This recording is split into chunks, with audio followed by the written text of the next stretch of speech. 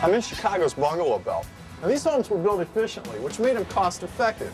Now a homeowner could invest in skilled labor or quality materials, like the brickwork or a clay tile roof. This 1929 bungalow still has its original clay tile roof, 3,000 square feet of a green French style tile that's not too common. They've held up pretty well, but a lack of maintenance has led to a leak at the front of the home. Renaissance Roofing of Rockford, Illinois has been contracted to do the repairs. They're clay tile specialists. Jason Zipsey is a manager of field operations. Jason, a tile roof job uh, looks like a big job. What do you have to do here? Well, this is a leak repair, so we're basically going to restore this section of the roof, and then the rest of the roof we're only going to maintain. We're just going to repack the hips with mortar to keep the birds out, keep the wind-driven rain out, Okay. that sort of deal. Now, what do we have to do? Pull all this off? Yeah, we're going to pull this off, clean the roof up, change out the broken tiles, put in new mortar, call it good. Clay tiles can fail over time, but it takes a long time. A well-made roof should last the better part of a century. Builders chose clay tile for this durability and strength, but with that comes a lot of weight. A thousand pounds, you know, per hundred square feet, and so it, it weighs a ton. So for every 10 by 10 square foot patch of roof, it's a thousand pounds. Just for the Just for tile. tile. Asphalt shingle is uh, 240 pounds per 100 square feet. So they, they, for the tile roofs, did they have to do anything more substantial? Yeah, that they did everything from the foundation to the walls to the structure of the roof to be able to support this weight. The leak in this roof has compromised the roof structure. Water has rotted some of the original wooden decking underneath. The old material is being replaced with new three-quarter inch white pine. An important thing to remember with a roofing job, your roofing material, in this case clay tile, holds back about 95% of the moisture that's hitting the roof.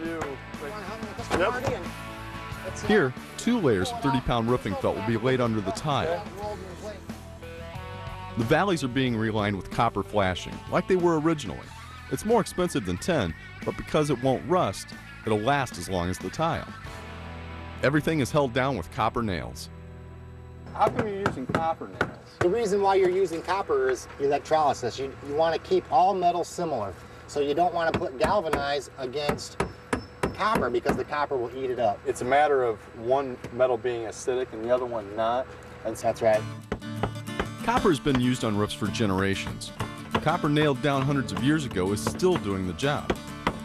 Now, because copper contracts and expands very highly, especially when you're outside in the elements, Yeah. this seam we're not going to solder. you just don't need to because it, right. it has a natural slope anyway. Yeah, and it's going to flow good. So, you know, we're going to overlap it to three inches. And if we pop rivet and flux and solder this seam, more than likely by next year, that seam is going to break from the contraction and the expansion. Right. So the nailing purposes of it, it it'll still contract and expand a little bit, but with the nails, it's going to hold it down pretty tight. Laying clay tile is pretty much like laying any other roofing. Take your measurements, do your math, We're going to run them at uh, 13 and a quarters. and put down some straight lines to work with. After the Great Chicago Fire, builders were encouraged to use fire-resistant materials. Clay tile came to America from Europe, where it had helped cut down on fire damage for centuries. The tile we're using on this job is almost identical to the existing tile.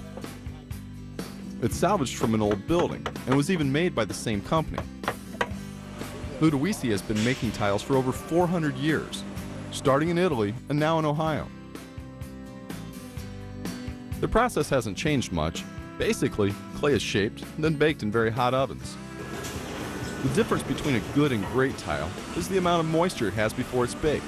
The less water in the clay, the more durable the tile.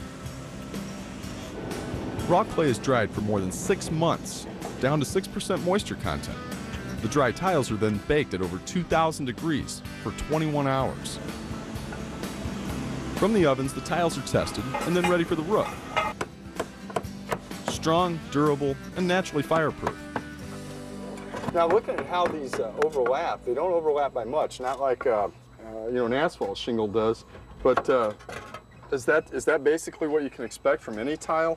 It's just you know that one half inch overlap from piece to piece? It depends on the style of tile. There's lots of different styles. They all interlock in different ways. Your flat tiles, they, uh, they overlap each other with what we call headlap. A good contractor, he'll nail off the first course and maybe he'll put a nail through every four or five tiles, but it's really the weight that holds them down. Now these are uh, these are almost identical. Where did you come up with a perfect match? This is a salvage tile. We brought it in from a roof on a building that was tore down, bought the salvage rights, went in, ripped the roof off, took it back to my shop, and then uh, when we get jobs like this repair work, we bring in the, the perfect match, It says five, seven, two, eight. right? Which is the fifth month on, or the fifth day on the seventh month in the 28th year. So these tiles were actually made in 1928. And it's still just as solid as it was in 1928, I'm sure. Once the main tile courses are laid, you finish up by capping the hip lines, where each course meets. The cap tiles are nailed to 1x2s that are nailed to the decking. And these are basically just uh, clay tiles as well. So we just set it on here and try and make it match the other side. That's right. And it, generally, what this, what the bump of the tile is, is that's your locking point. So you'll slide it down into place, and once it hits that, it locks it right into place. Cool. And that's uh, that's your exposure right there. That's it. Yep. This is just part of the two-step process. This is the first step here. It's basically getting it down to the roof deck. The shape of the cap tiles leaves openings and voids underneath, places where birds and rain can find their way in. Careful mortaring fills in those holes. And once you clean it up, you're all done. Oh, look at that hmm. one time. That's a good looking job, man. Thank you. Good day's work. What do we have to do in terms of maintenance? Just change out the broken tiles. You'd be lucky to get any. Clean the gutters. Maintain the mortar every 50 years. Done deal. Well, you said that this was uh, original going back to what, 1923 or so? 29. The guys that originally knew how to do the roofs died off, and so there's only a few of us that really know how. So if you do it right, it's going to last a good long time. That's right. Excellent job, man. Thanks a Thanks lot. for the day. Yeah. Take care.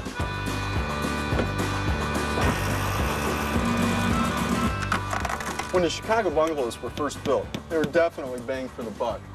Solid construction, fine craftsmanship, and top shelf materials. You could say they were sliced of the good life. And they still are today. I'm Marty Dunham. I'll see you next time I'm back to the blueprint.